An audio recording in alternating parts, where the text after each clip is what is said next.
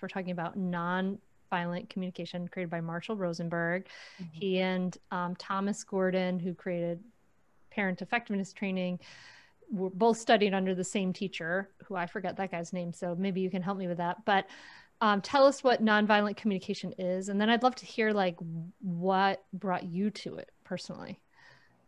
Sure. Um, so I, I think the best way I know how to explain what nonviolent communication is is to kind of share some of the struggles we have had with our now nine month old daughter Inara, um, and we're first time parents. So this example that I'm going to share is our struggles with nap time. We had no idea nap time would be so difficult.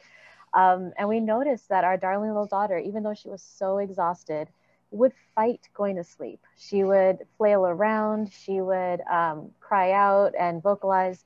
And we just didn't get it. She's clearly tired. Why isn't she just sleeping? And it was kind of frustrating, you know, as first time parents were exhausted and we want our, our break time as well. Um, and so we decided to try a little bit of curiosity. And we said, we asked ourselves, what is it that Inara is needing that she's just not able to potentially communicate to us. And through that, we started wondering, and we said, you know what? She is probably so excited about this brand new world that she just wants to play, she wants to explore, she wants adventure, and she just doesn't want to sleep. Sleep is something she doesn't want to do. And when we were able to kind of have this curiosity and look for those underlying needs that she might have, we were able to come up with strategies to get both of our needs met. So now, if she's resisting nap time, we just hand her a toy or like an orange or a piece of fruit and she'll just play with it and fall asleep. Um, oftentimes that's all it takes um, for her. And so we were able to get her needs met and our needs met through this curiosity. Um, we realized that she was basically asking with her, with her fussiness and her struggles, she was saying, please, um, I want to play, please, I want exploration, I want adventure.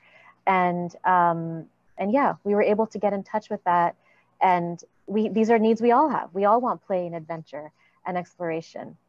And so just as Inara was unable to communicate her needs because she didn't have the language to do so, we all are basically grown-up babies, right? We're all grown-up children. And sometimes so true. yeah, exactly. And and sometimes we just we haven't been taught that language or we haven't have learned that awareness to communicate our needs or even be in touch with them. Mm-hmm. Um, and so NVC is a practice of going that deeper level of going deeper and saying, you know, what am I feeling right now and why? What are those needs that are alive in me?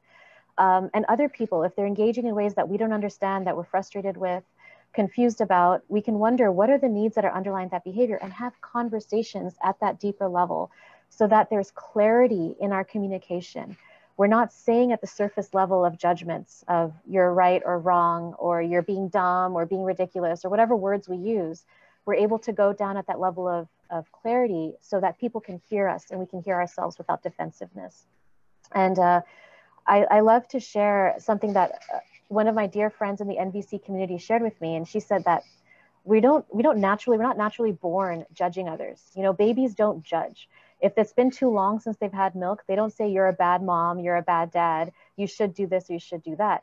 They just cry and they say, I'm hungry. Please feed me. I'm hungry. I need milk. I need food. It's only as we get older do we forget how to maybe connect to those very basic human needs that we all have. And so we say things like, You messed up big time by forgetting our anniversary. How could you do that? You're not a good partner.